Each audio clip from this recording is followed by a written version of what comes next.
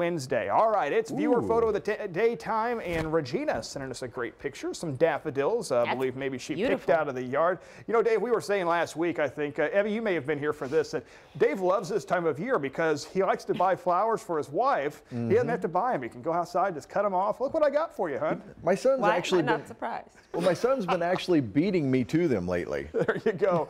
And Brenda sending us a nice picture. He looks pretty chirpy there.